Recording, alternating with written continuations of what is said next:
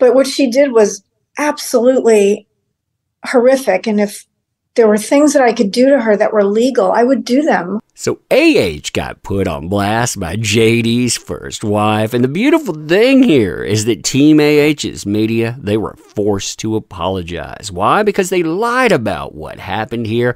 They omitted several things. Now, we're going to listen to part of this interview for context. The entire thing is on Popcorn Planet definitely check that out. And this is part of that media wanting to reframe everything on the one year anniversary of JD versus AH. You notice they leave out that this is a charity fundraiser. Notice across the top, Make a Wish ends up making over $60,000 plus. Yeah, they leave that out, don't they? But let's listen to this. Crazy times, too. Crazy times indeed. Hey there, by the way. Let's get started. Sounds like you ended things positively, at least, or came to those terms. Uh, what, ha- what what were you feeling when you saw she who shall not be named uh, coming out there, putting these accusations and putting them through the ringer like like like she did? I I mean, I had met her before. I'd been to parties at their, you know, at his house, and she seemed really nice and she was gorgeous and what's not to love? But you know as the time went by and i would hear things about her and she who shall not be named um, you know he didn't seem too happy all the time. I didn't see him a lot so i can't really say. Um, i just the things that the things that affected me more were the things he said in court um, I probably broke down several times because I felt really bad for him. You know, he's very private, which is why I don't do interviews. He's very private. And I think for him to come out so wholeheartedly was what he really needed to do. And I thought it was either going to be a epic train wreck or it was going to go really well. In fact, I would call Isaac sometimes and say, what's happening? What's happening? Is he okay? And he said, Don't worry, we're going to win this. And I would literally hang up the phone from Isaac and just walk around crying because I was terrified for him. I think it would have killed him. Well, maybe not. But it just broke my heart that somebody could do that to him. I mean, uh, look, I'm no angel. I've done my share of shitty things to people and but what she did was absolutely horrific. And if there were things that I could do to her that were legal, I would do them. Now, there's another piece of this interview that I think is important for context as well. Again, make sure that you tune into Popcorn Planet, watch the entire thing, sub to the channel as well, but listen to this. Amazing. So, t- uh, just so we get so people understand, you were his first wife, correct? Very first one. In night, we got married in 1983. 1983. Wow.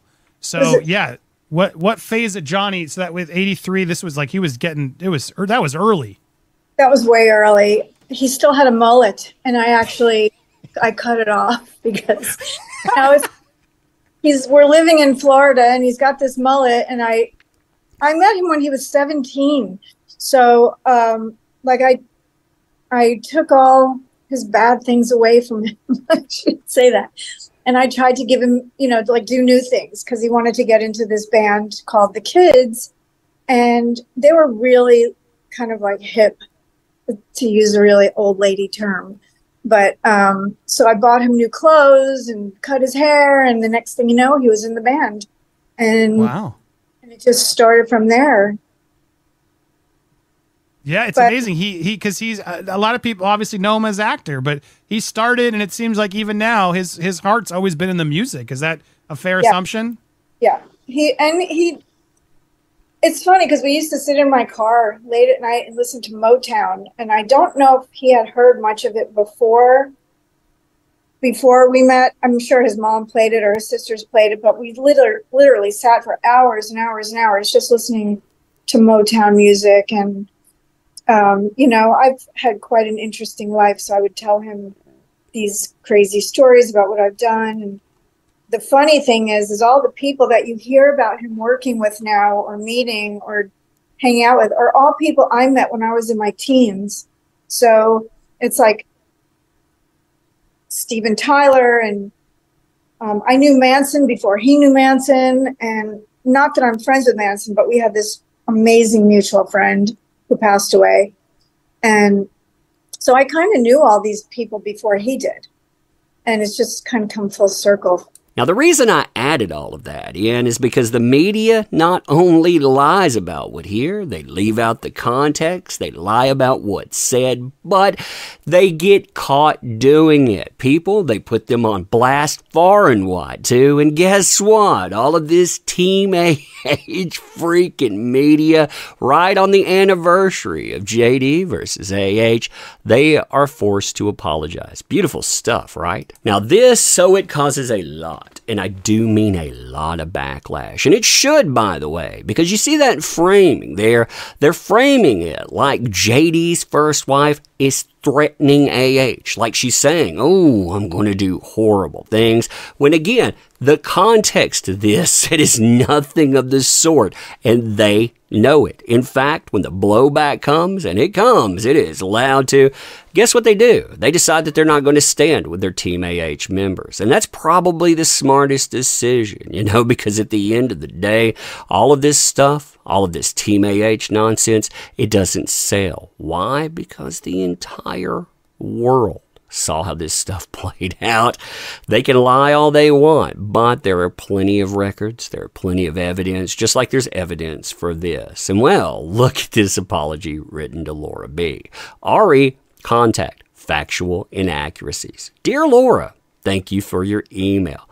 I can confirm that the article has been updated accordingly it may help to know that much of our content is produced under tight deadlines, and this can at times leave room for human error, which is unfortunately the case here. We appreciate you bringing it to our attention. Trust it resolves your concerns. Sincerely, Mail Online. And yeah, I'm glad that they resolved this, as in they wrote it up a different way, but it doesn't actually get rid of my concerns. Why? Because they say that this is caused by human error, when in fact, all they had to do is go in and listen to the interview. In fact, somebody brought that to their attention, and instead of sitting down, instead of listening to this, they decided that they were either going to pull it and they were going to go with that narrative, which is possibly the case, or they decided to go with someone else's narrative, which is just as bad. You would think they would have learned from the case that they're connecting this to. but anyway, let me know what you think about this. And as always, I appreciate the heck out of you. You make this stuff work. Thank you. Can't say that enough. Again, thank you. Want to help out the channel? Links are in the description. Check out everything. Make sure you sub here too. And call this mess out when you see it. Again, this is the anniversary of the JD versus AH trial. I think it's very fitting to see the media called out and the media have to correct something. But anyway, I'll see you here. Thanks.